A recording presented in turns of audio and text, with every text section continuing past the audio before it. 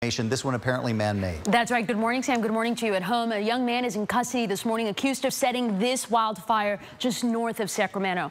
Crews say one home and six vehicles burned before they could get the wildfire contained. This is one of 5,200 fires across the state and federal land in California this year. 74,000 acres burned, but that's fewer acres than this time last year. NBC's Miguel Almaguer has the story. Areas, yes, we've got more rain coming your way after nearly a foot of rain for some spots in the Tampa St. Pete area. Tropical update right now, and I've got Michael Lowry here to talk about what's happening over here in the Gulf of Mexico, close to the west coast of Florida. We look at the radar, Michael, and you know, you see some sense of a circulation. You do. There's a weak area of low pressure up here near Cedar Key. Uh, the circulation is almost inland at this point, but pretty weak. Most mm -hmm. of the mm-hmm. thunderstorms obviously away from where the center of that circulation is, but rotating around it and right into the areas that don't need more rain. These spots, you know, nearly a foot of rain. Holiday, Florida, New Port Richey, numbers coming in like... I mean, 10 and a half, 11 and a half. Yeah, and this isn't an organized tropical cyclone, right. but it's bringing that type of rainfall to parts of Florida. Uh, this is along, there's a front up here, a, stalled frontal boundary. Uh, this area of low pressure, it's drifting toward the northeast. You can see that the strong winds at the upper part of the atmosphere is keeping the convection yeah, down you, you to the south You can see the, the cloud tops getting blown off. The thunderstorm tops are getting blown well downstream, but you still have that yes. moisture, and that's sort of drifting onshore. So our saving grace in all of this is the, is the upper winds, the shear, and also that this is moving inland. Uh, there's a ridge of high pressure down here to the south that's building in. Jen, it's going to follow the flow of that ridge out into the Atlantic Ocean. We'll be done with this, at least this low,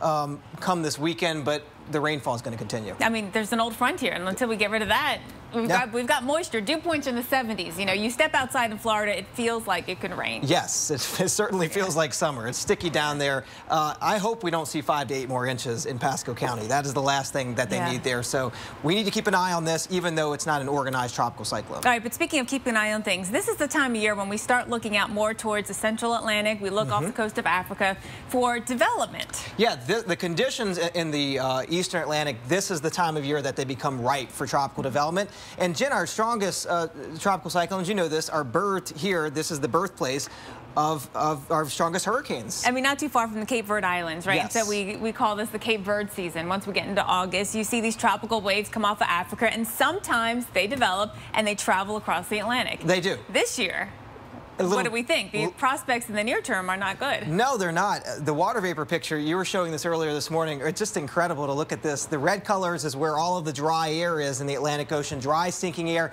Tropical cyclones feed off of uh, uh, water vapor, water content in the atmosphere.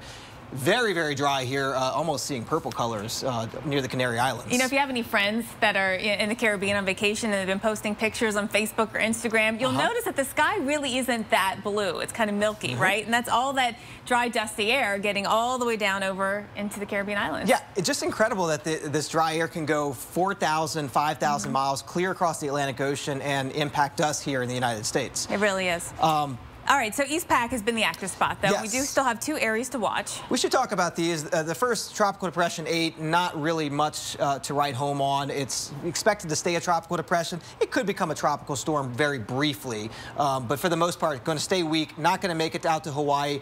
This one, though, Jen, behind it, 91E, a, a good chance this will develop, and the interesting uh, part of this story is the track keeping it to the south over the warmer waters. All the models kind of clustering, you know, in general, same vicinity Once you get out in time, of course, there's right. some uh, some change. But um, Hawaii, we got to keep watch on this Plenty one. of time to watch it, but yeah, absolutely. With the stat about Hawaii and El Nino year, what did you tell me? In an El Nino year, three times more likely to see tropical cyclone impacts uh, right. uh, than in a, in a, La Nina year. So, um, okay, and yeah. we are in an El Nino year. El Nino year. Yep. All right, Michael, thank you.